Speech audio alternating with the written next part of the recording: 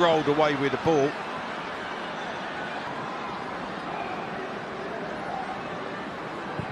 That's right leg. I think he perhaps does toe the. Rich Blas. Goes to the line. Good change of pace by him. Hunting for it. That's why Nantes have brought him in. Great work from Blas.